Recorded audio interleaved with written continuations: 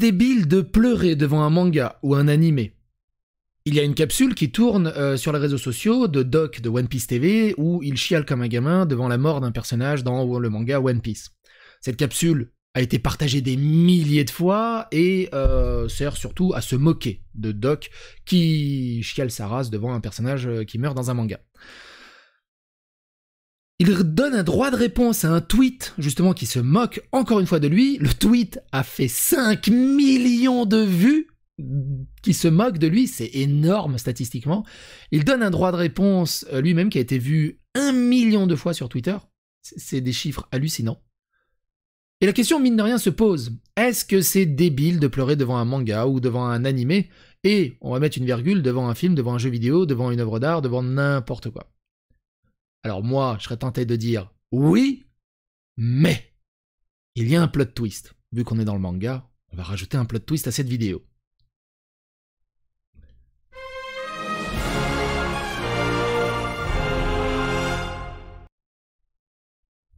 Alors,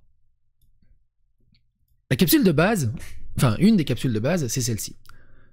Des fois je suis triste, mais après je regarde cette vidéo et je suis mort de rire. Et donc il se moque du doc. La vidéo a été vue 1 million 4 fois, le, tweet a été vu 5 millions de fois, plus de 5 millions de fois, il y a eu 2500 j'aime, 500 tweets cités. On va voir un petit peu les, commentaires après, mais globalement, euh, beaucoup se moquent, mais beaucoup aussi comprennent euh, Doc.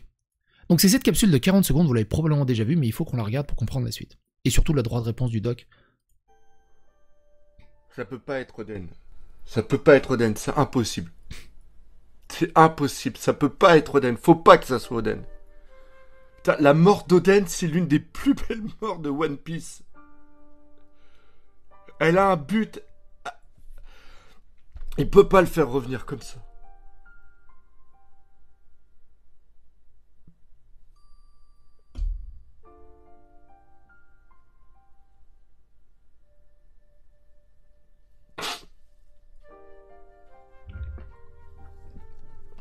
Je vais arrêter ici la vidéo.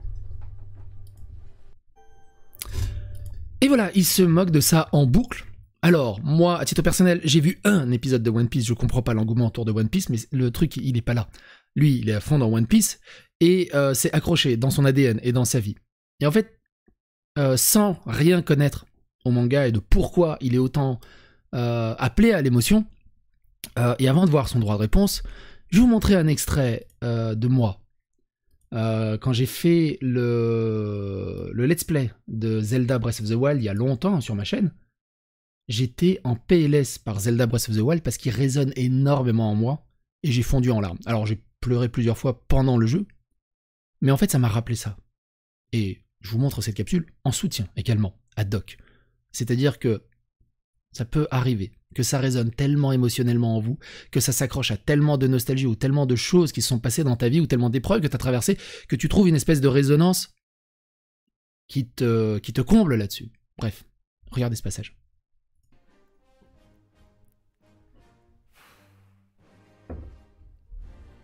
C'est le meilleur jeu que j'ai pu faire euh, depuis exceptionnellement longtemps.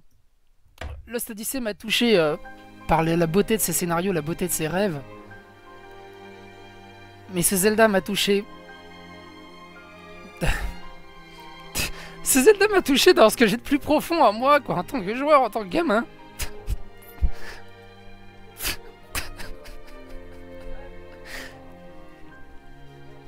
Toute ma vie de gamer, quoi, c'est 25 ans de gaming, quoi, depuis quasiment mon tout premier jeu, c'était Zelda sur la première Nintendo où j'ai joué avec mon grand-père. Et de le voir sublimer comme ça, c'est juste énormissime. Incroyable.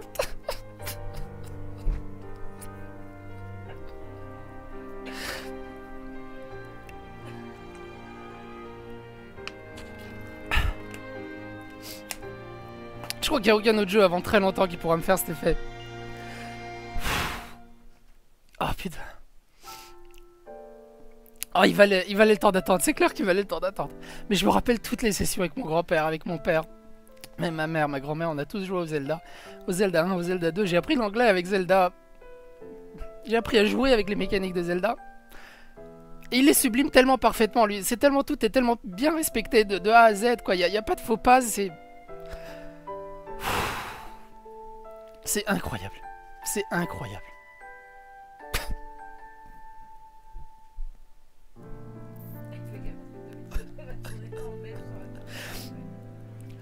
Oh putain.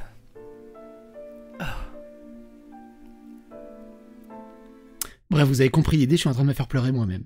Mais euh, c'était compliqué, c'était vraiment compliqué.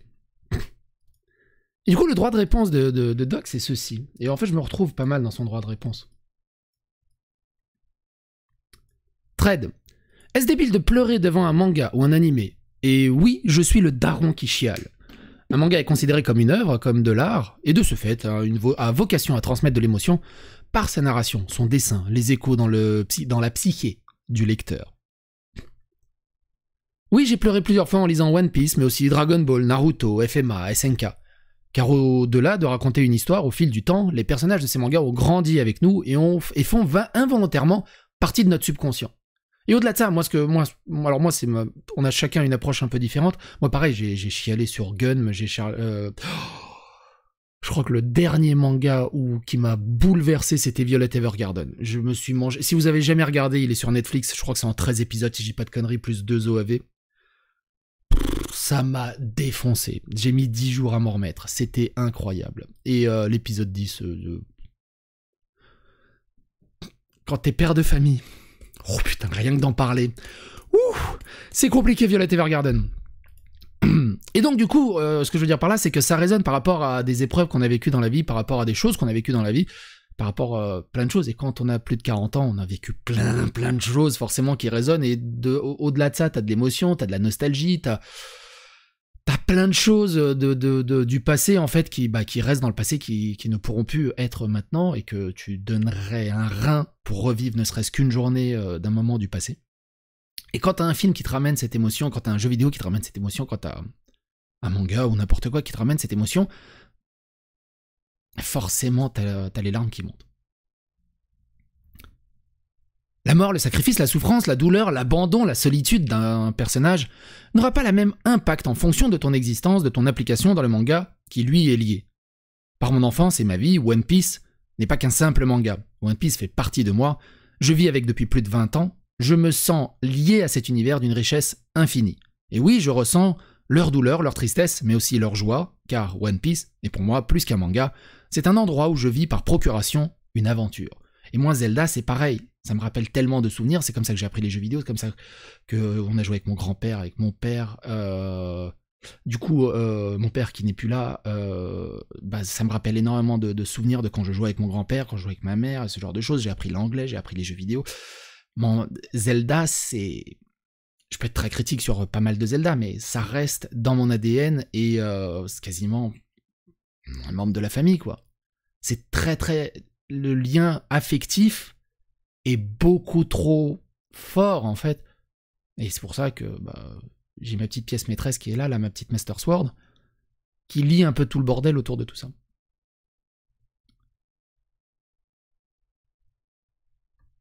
Mais j'ai aussi une famille, un travail, et One Piece passe bien après.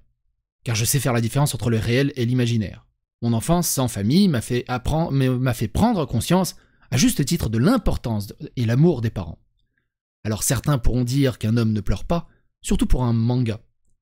Alors, moi j'aurais envie de dire, euh, les, les hommes qui disent les hommes ça pleure pas, c'est pas des vrais hommes, c'est tout, c'est juste qu'ils ont peur d'être des hommes. J'ai passé 9 ans de ma vie en tant que militaire Fusco, alors je sais pas ce que c'est Fusco. J'ai fait entre autres l'Afrique et la Bosnie, et j'ai vu plus que ma part d'horreur dont beaucoup qui liront ces tweets ne seront même pas capables d'accepter. Alors oui, j'ai pleuré pour un manga et je continuerai de le faire, car c'est aussi cela qui me rend sûrement plus humain qu'un mec assis derrière un écran qui se fout d'un autre, qui assume librement et sans filtre ses émotions. Et je, crois que, je trouve qu'il a bien résumé le, bordel. Il n'y avait pas besoin de te justifier en vrai, ça prouve surtout que tu vis entièrement l'œuvre et ça c'est beau. Oda arrive à retransmettre les émotions comme tu le dis, et il est très fort pour ça. Il n'y a vraiment absolument rien d'honteux à ressentir des émotions face à quelque chose qu'on aime. Il est fan de football apparemment, donc c'est complètement débile son tweet. Alors, au-delà de ça, hein, y a... Des fois tu vas pas comprendre pourquoi il y en a un qui chiale parce que son équipe a perdu, ou pourquoi, il y en a un qui chiale euh, parce qu'il y y a tel joueur qui a marqué euh, une lucarne d'enfer. il est, il est accroché aussi, il y trouve une espèce de résonance. Moi, j'ai un copain qui a chialé devant un 69.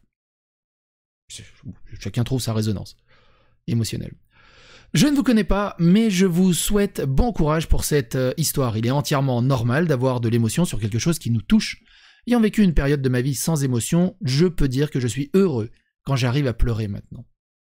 Le doc, tu ne dois pas, tu ne dois même pas te justifier. Une œuvre, film, manga, livre, etc. est censé nous transmettre des émotions, des sentiments, et c'est normal de les exprimer.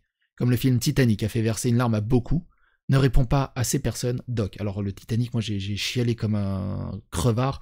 J'étais extrêmement énervé contre la nana en lui disant putain mais il y a de la place sur cette putain de porte, tu, te fous de la gueule de qui au bout d'un moment, bouge ton gros cul. Et euh, j'ai chialé parce que l'autre était mort pour rien. Mais ça c'est encore une autre histoire. La seule information que j'ai retenue, c'est qu'il y a un troisième mort dans One Piece incroyable. J'ai pleuré pour Jiraiya à la fin de Naruto, mais pour et pour Kuroma grandissait avec une œuvre et un univers, des personnages. Heureusement qu'on pleure quand ils nous quittent. La fin de One Piece va nous faire très mal, on sera jamais prêt pour ça. Je ne pense pas du tout, j'ai réussi à pleurer devant Chi. Ok, j'étais plus jeune, mais tout de même. Donc je ne vois aucune honte. Ce sont des œuvres écrites par des personnes qui veulent donner un peu d'eux-mêmes, comme tant d'autres. Être touché par ces créations n'a rien de mal. Bref, beaucoup de soutien du côté euh, de One Piece. Du côté de, la personne qui s'est moquée euh, de, de Doc, dans les tweets cités, on a ceci. Dieu merci, j'ai pas ce genre de personne dans mon entourage, je parle bien de celui qui a fait le tweet. Peu de choses me procurent autant de bonheur que de pleurer devant une œuvre, jeu, film, manga, cette sensation d'avoir pleinement profité de l'œuvre. Les larmes arrivent presque comme une récompense. Il faut être un sacré teubé pour juger les gens sur ça. Clairement, peu importe la qualité d'un jeu, d'un film, d'une œuvre d'art ou quoi que ce soit, s'il arrive à te toucher émotionnellement et à te faire lâcher une larme, c'est que déjà c'est bien écrit derrière c'est qu'il y a quelque chose, mine de rien.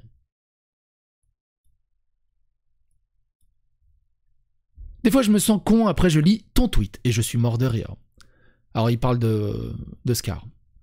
Je revisionne cette, vidéo, je suis mort. Mais en fait, le but de l'œuvre, c'est de faire procurer quelque chose au lecteur, au spectateur, non, je ne vois pas pourquoi. Ça se fout de sa gueule. D'ailleurs, faut voir comment j'ai bien pleuré face à l'histoire d'Obito.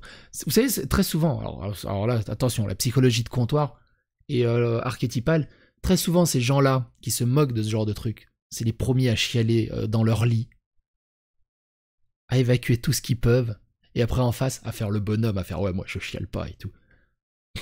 Mais le jour où il va te briser émotionnellement, il va tomber de très très très très haut. Parce qu'à force de se retenir, la chute, elle va être compliquée. Tenter d'humilier quelqu'un pour 2500 likes, c'est pas vivre euh, pour les caméras, mais carrément essayer de lécher les boules des cadreurs en espérant gratter un peu de caca sec. Faut vraiment penser à aller se faire foutre. Pitié, faites un minimum de preuve d'intelligence émotionnelle, y a rien de mal à être vulnérable pour des trucs pas très profonds. C'est ok de pleurer, de ressentir ses émotions au lieu de les brider. Et moi, ce que je dis, c'est là-dessus, c'est pour ça que je dis oui, totalement d'accord, c'est débile de pleurer devant un jeu vidéo, devant Zelda, devant One Piece, c'est débile. Mais on s'en fout. Et c'est pas la profondeur de l'œuvre qui est intéressante, c'est juste que cet événement a créé une résonance par rapport à plein de choses du vécu et de l'existence. Et c'est suffisant en fait. Il n'y a pas besoin que ça soit très profond en fait. Mais vous n'êtes pas autant impliqué quand vous lisez une œuvre, comment vous devez vous faire chier? C'est une dinguerie d'être atteint comme ça. Il a pas à être une merde comme ça, sérieusement, en Big 2023. Il euh, faut arrêter de tweet des avis catastrophiques. Juger des gens sur ce qu'ils peuvent ressentir à cause d'une œuvre, être un cringe lord. Carrément, on vit dans un monde où montrer ses sentiments, c'est la honte, PTDR. Il, il est fini à la piste, celui-là. Donc il parle de... Grosso merdo, vous voyez qu'il y a quand même une très grosse majorité euh, qui soutient le doc et qui se moque euh, du mec qui voulait se moquer. Ce qui est plutôt une bonne chose, mine de rien. Mikrari Salvan parce qu'il est triste, pas compris le principe. Je le connais même pas en plus ce type. Surtout que. Alors.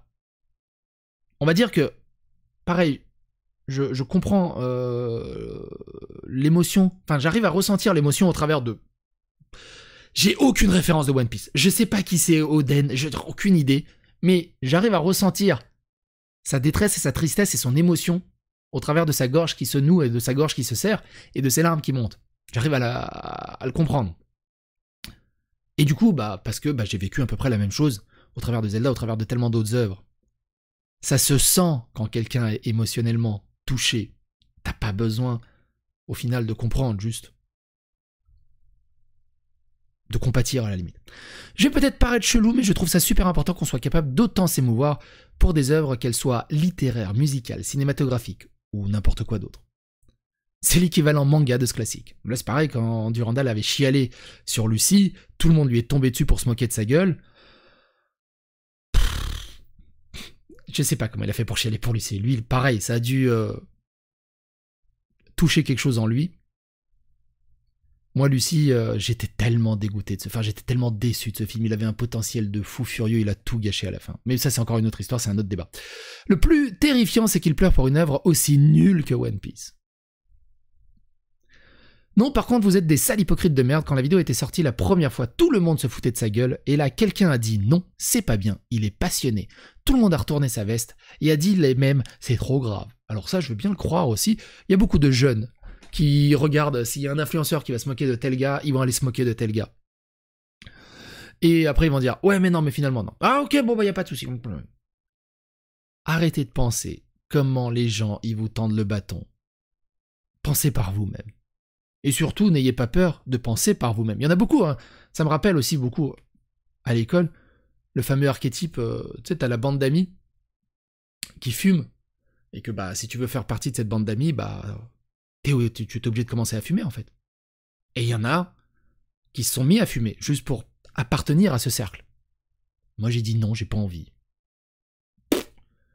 à l'école, je m'en souviendrai encore, on nous a appelé les losers, non, les losers ou les sans amis fixes, un truc comme ça. On était trois, en fait, il y avait une grosse partie de la classe, en deux, trois groupes, et puis nous, on était trois, on était les seuls à avoir des consoles. Des consoles de jeux vidéo. Et on était bien à trois, c'est pas grave. Euh, on n'avait pas besoin de reconnaissance ou de faire partie d'un groupe ou pour se sentir cool ou pour se sentir euh, aimé ou pour se bref on avait notre personnalité à nous et rien à battre en fait de la vie des autres c'est ça que je veux vous dire. Arrêtez de vivre ou d'avoir des avis en attendant des, confirmations d'en face, en fait. Arrêtez de vivre horizontalement, vivez verticalement. Bref. N'hésitez pas à me dire votre avis dans les commentaires, vos opinions. Est-ce que vous avez chialé déjà devant une œuvre? Manga, animé, jeu vidéo? Racontez vos expériences dans les commentaires. Et à bientôt pour d'autres aventures.